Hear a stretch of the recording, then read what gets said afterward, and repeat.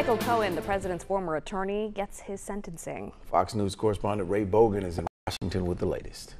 Today, we learned that Michael Cohen, the man who once said he'd take a bullet for the president, is headed to jail, even after reaching a plea deal with federal prosecutors.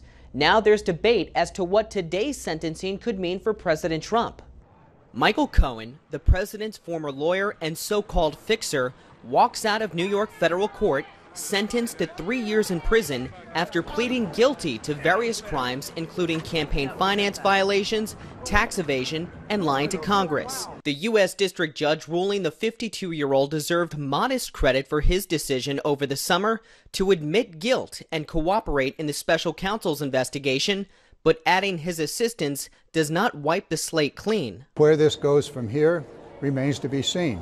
Uh, I suspect he has far, far more things to talk about. Cohen told authorities Mr. Trump directed him to pay two women, Stormy Daniels and Karen McDougal, ahead of Election Day two years ago in an effort to keep them quiet about sexual relationships, allegations Mr. Trump denies. On Twitter this week, President Trump dismissed allegations any such payments violated campaign finance law, arguing if he broke the law, it was his lawyer's liability, not his. Still, some top Democrats say the president could soon face impeachment if the accusations against him are proven true.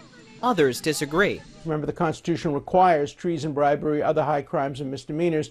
The most they've come up with is a very, very questionable campaign contribution issue. The judge also ruled that Cohen will have to pay nearly $2 million as part of his sentencing. He is due to surrender to prison on March 6. In Washington, Ray Bogan, Fox News.